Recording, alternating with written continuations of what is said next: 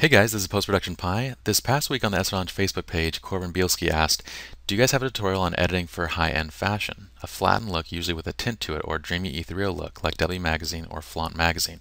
Now we're going to cover the look of the Flaunt Magazine shots later on. It's a little more in-depth, probably going to be a two or three part series. In this tutorial, I'm going to teach you guys how to pull off the W Magazine shots in Photoshop. Alright, so here is the W Magazine shots that he linked to. It's called Duel in the Sun, and this was shot by Jean-Baptiste Mondino, which, by the way, would probably be a great name for our mannequin. Alright, so this look is basically a, a nice high-key uh, vintage type look where we have kind of muted colors, uh, great detail, a little bit less lowered contrast, and a backlighted image. And part of the look is really achieved by just the lighting itself. And you can see how basically in every one of these shots there's a heavy, heavy backlight uh, in all these images. So we selected an image from our uh, kind of portfolio that has a heavy backlight that we can kind of use to uh, create a similar effect. But really, to perfectly mimic this look, you're going to want to mimic the lighting effects as well. But we're not talking about lighting, we're talking about post-production. So let's get to it. We're going to open up this shot. It's the raw file. You guys can download this exercise file from the article itself. Double click to open it up in ACR. And we're just going to make a couple brief edits. I'm going to keep this window open so we can use it as a reference point and just kind of see the overall look. So what I want to do is just make a couple of minor adjustments just to kind of, I want to post produce it correctly because we're going to actually get this effect through layering and stuff and that way we can control saturation later. So I don't want to necessarily kill the saturation in ACR because then I won't have control of it once I'm in Photoshop. So let's just post produce it so it looks about right. It's a little bit on the green side. I'm going to take up the pinks just a little bit and then warm it up just a tiny bit. We'll brighten it to about 60. I'm going to add some recovery just to kind of pull down the dress a little bit. The dress is a little bit too bright. All right, and then I think that's about good. We don't need it to be perfect from here. Uh, what I do want to do is quickly fix this curtain right here. And if you guys remember the previous tutorial on editing in Lightroom, we're going to use the same technique that we would do in Lightroom. We're just going to pull up our adjustment brush. We're going to set exposure all the way to plus 4, brightness to plus 200. I'm shrinking the size to 13. We're going to do feather, flow, and density all at 100 and then uh, we're going to just paint over this area right here. All right, now that that's gone, let's just double check. Yep, it's all gone. Okay, so let's go back to our basic settings. And I want to do one other thing. I, I notice a little bit of darkening on this arm right here, kind of like a natural vignette where there's the light is falling off. I want to reverse that. So I'm going to go to my lens corrections, and then we're going to go to the lens vignetting, and I'm going to pull up the amount. So just kind of reverse that. Otherwise, when we when we do this effect on it, it's going to have this kind of nasty darkening uh, side on our, on our skin, which isn't going to look that great. So let's pull in the midpoint a little bit to make the effect a little more subtle and to kind of deepen how far it extends into the image. And that's great. We're good right here. I'm going to hit open the image and now we've brought the image into Photoshop. Alright, so now that I'm in Photoshop, the first thing I'm going to do is create a vibrance adjustment layer. So let's add that. And what we're going to do is we're going to pull down our vibrance but not our saturation. This is going to basically mute the skin tones, but it's going to leave some of the color intact. So I'm going to take it down to, let's say, let's go around negative 40. I think that looks about right. If you can't get it right on, you can always just type it in right here. So we'll go to negative 40, and that gets our skin tone actually fairly close to what you see in this image right here. Um, we still have some color like in the hair and in other areas, but the skin tone is where I want it to be. Okay, so the next thing I'm going to do is add a curves adjustment layer. And with this, basically, I want to pull down the midtones. I want to kind of like even out the color of the skin. We're going to brighten it up in a second, but I'm first going to pull it down just across the board so that it kind of flattens out the tone of her skin. And then we're also going to uh, raise up the shadows just a little bit to kind of bring out a little bit more contrast in the scene. Alright, so once you've adjusted curves, now we're going to add an exposure adjustment layer. And with this, I just want to raise the exposure a tiny bit to brighten up the skin. And then I'm going to use a little bit of a positive offset to kind of flatten out the contrast just a little bit more. Go a little bit more exposure. And then we're going to use a little bit of gamma correction to pull in the shadows just a little bit. And that's great. I'm going to just make a couple final tweaks here. Just a little bit more there. And we're good. Alright, so from here I want to merge all of these existing layers onto a new layer. And how we're going to do that is going to hold Alt, Control, Shift, and E.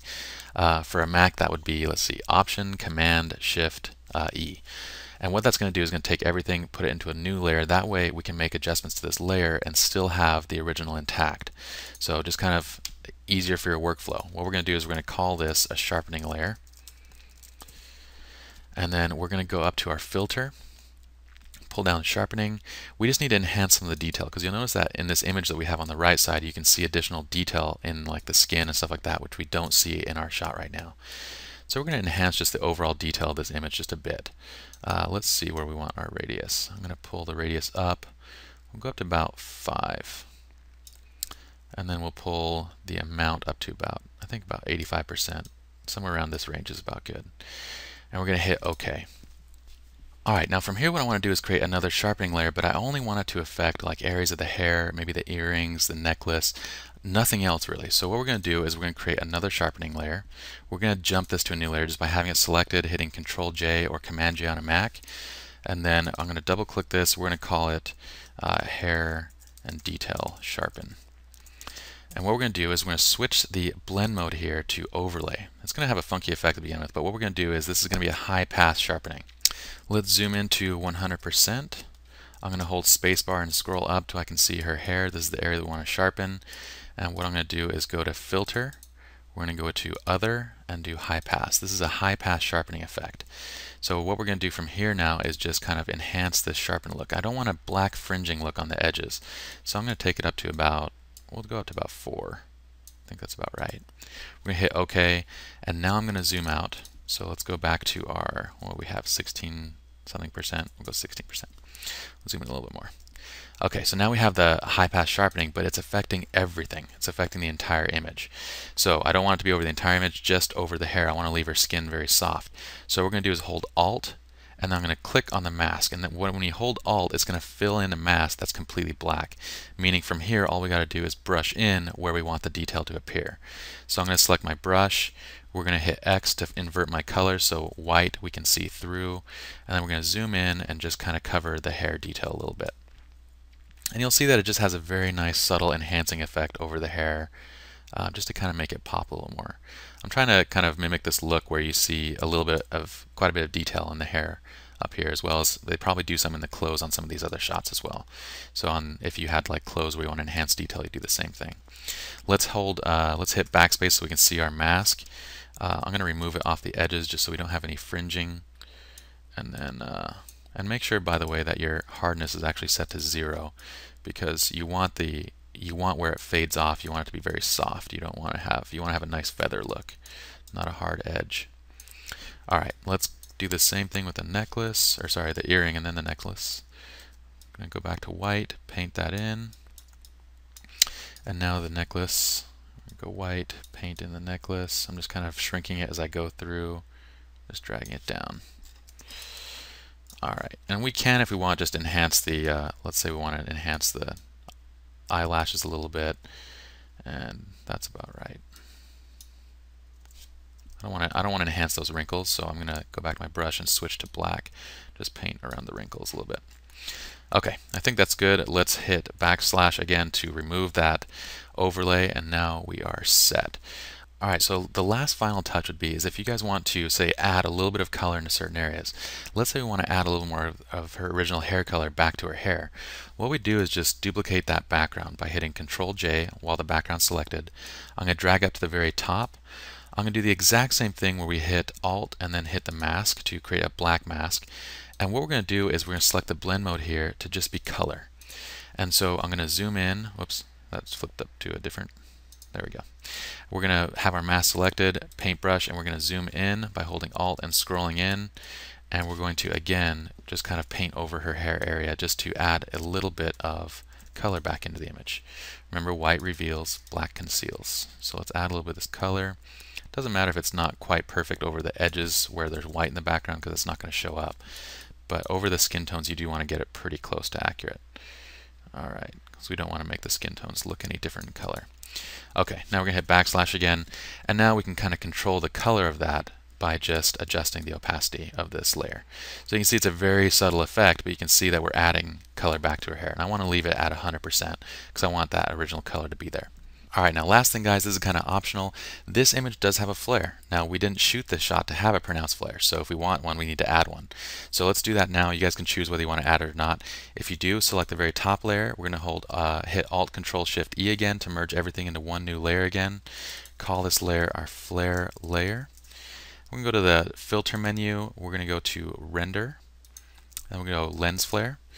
And what we're going to do is we're going to put this lens flare up into the top left side of the lens because I don't want, basically what I don't want is these specular highlights that you see right there to be over the skin area. So we're going to put it up in the top left.